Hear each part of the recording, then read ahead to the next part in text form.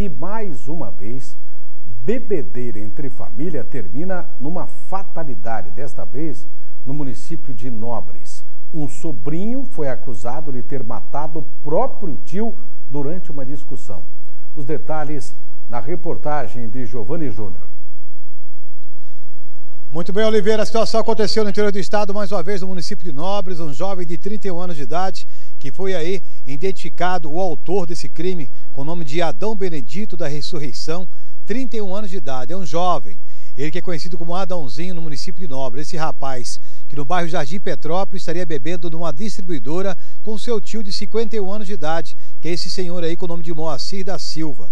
Até que decidiram ir para casa no pôr do sol, que é uma coab lá em Nobres. Chegando em casa, o tio foi dormir. Só que daí o Adãozinho ficava puxando o pé do tio. Puxava o pé, puxava o pé. Aí entraram na discussão, vias de fato, até que o, so, o sobrinho, o Adão, o acusado, empurrou o tio.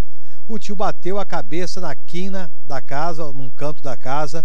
Ali o sobrinho jogou dois baldes de água no rosto do tio Moacir e o mesmo acabou tendo aí o óbito confirmado ao ser encaminhado à unidade hospitalar daquela cidade. Quem vai explicar para a gente aí sobre todo o procedimento, a procura, a prisão e o crime ali praticado é o doutor Rogério, delegado de Polícia Civil, que é o titular da Polícia Judiciária Civil no município de Nobres. Na tela.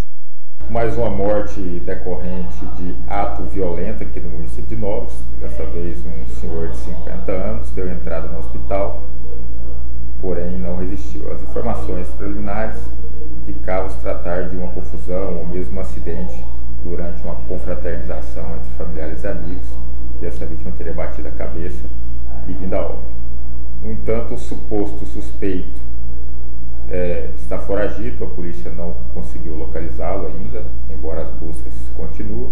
Foi instaurada uma investigação e no curso dessas investigações preliminares foram colhidas informações que apontam, na verdade, para um homicídio, já que o suspeito de 31 anos, o Adão Benedito da Ressurreição, ele teria agredido a vítima. Inicialmente teria arrastado a vítima da sua cama e depois golpeado com algum tipo de é, segmento de madeira.